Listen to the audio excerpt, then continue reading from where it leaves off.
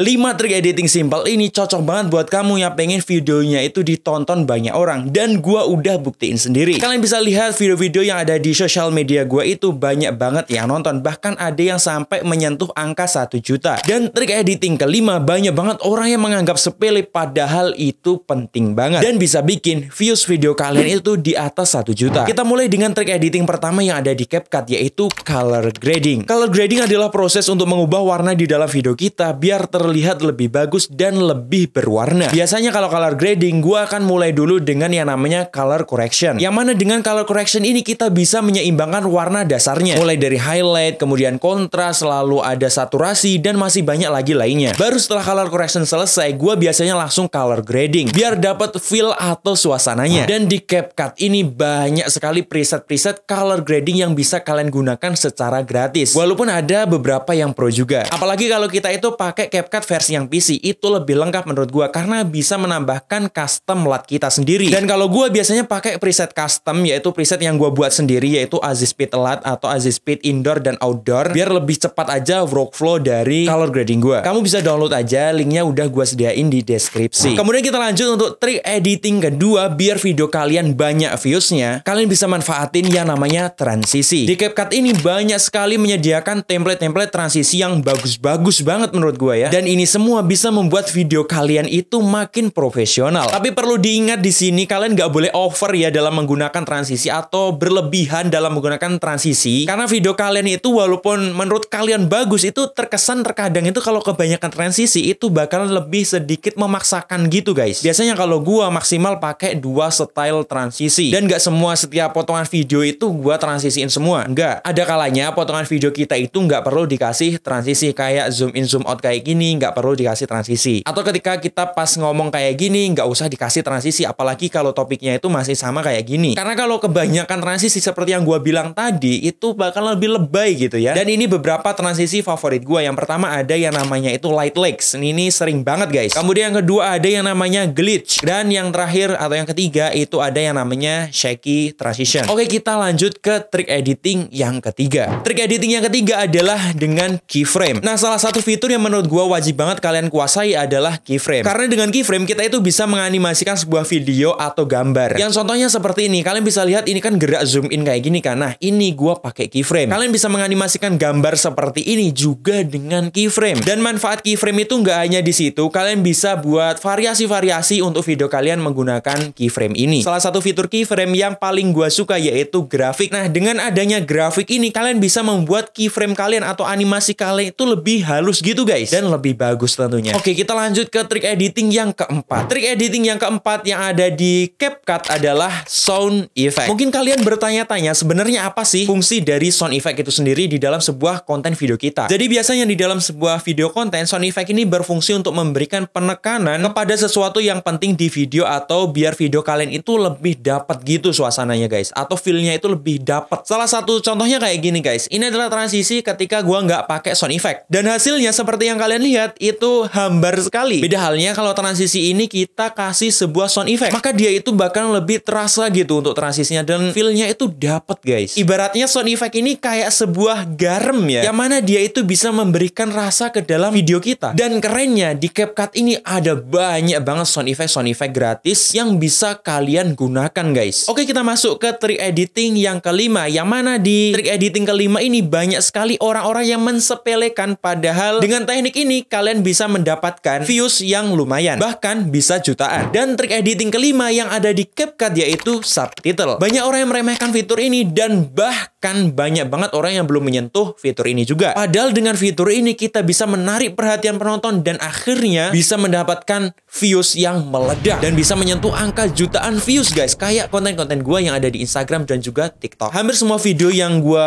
gunain teknik ini yaitu teknik subtitle ala-ala Mr. Beast gitu guys. Itu hampir semuanya itu meledak loh guys. Dan ada beberapa video di Instagram gua itu viewsnya sampai jutaan. Sebenarnya apa sih fungsinya subtitle itu? Fungsi dari subtitle itu sendiri menurut gua ya, itu untuk memperjelas kata-kata yang kita ucapkan kepada penonton dan membuat audien itu lebih betah menonton video kita. Karena banyak juga orang-orang yang menonton video kita itu nggak hanya di rumah gitu, tapi kadang mereka itu di jalan, di kantor, di busway, yang mana mereka itu nggak bisa nyalain audionya itu kencang-kencang banget. Dan di sinilah letak fungsi dari subtitle subtitle itu sendiri. Dia bisa memperjelas info yang ada di video tersebut. Subtitle di CapCut itu ada dua. Yang pertama subtitle yang manual yang kita ketik sendiri satu-satu gitu. Kemudian yang kedua ada subtitle otomatis dan inilah kerennya CapCut. Subtitle otomatisnya itu bisa divariasikan sedemikian rupa. Penggunaan ini bisa full dalam satu video atau kalau kalian males kayak gua ya, tapi jangan dicontoh. Kalian bisa gunain aja subtitle ini pada awal video kayak konten-konten gua untuk grab attraction atau menarik perhatian penonton. Gimana menurut kalian? Dari 5 trik ini mana yang sudah pernah kalian coba? Coba komen di bawah. Dan kalau kalian pengen belajar editing di CapCut, kalian bisa langsung aja klik tombol subscribe di bawah dan jangan lupa juga untuk like video ini. Kalian bisa langsung aja tonton video gua selanjutnya yang ada di sini.